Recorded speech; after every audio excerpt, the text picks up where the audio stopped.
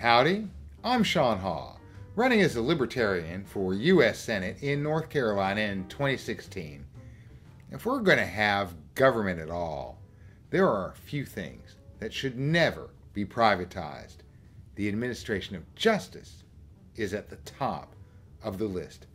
I mean, it gives me chills up my spine whenever anyone suggests government should be run like a business. no, no, no, no.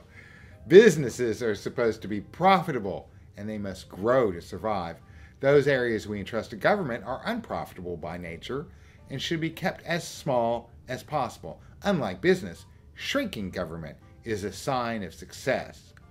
When you introduce the profit motive to criminal justice, you guarantee injustice. Private prisons have proven this to be true. Private prisons need to create more and more prisoners to survive. This in a country that already incarcerates more than 2 million people, far more than any other country in the world.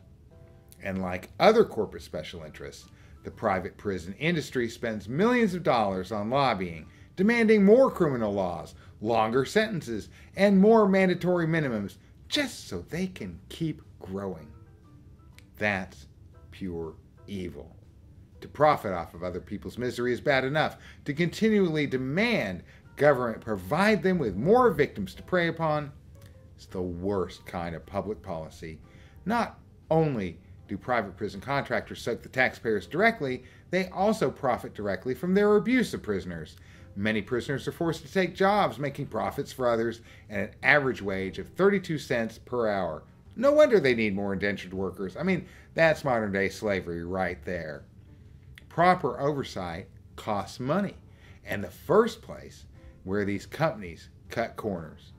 Private prison companies are currently facing all kinds of lawsuits for their abuse of prisoners and their families, such as one in Tennessee where female visitors carrying feminine hygiene supplies were strip searched to prove they were actually menstruating and not just trying to smuggle maxi pads into the facility because of course those companies rely on the profits they can make selling those maxi pads in the prison commissary. As I say this, there's a massive prison strike going on across the country. I mean, gee, I wonder why. Maybe because every single person deserves to be treated as a human being and not a captive slave who can be abused at will. Prison is the last resort of criminal justice. It should be reserved only for murderers, rapists, and thieves, for those who have proven that they are ongoing violent threat to others.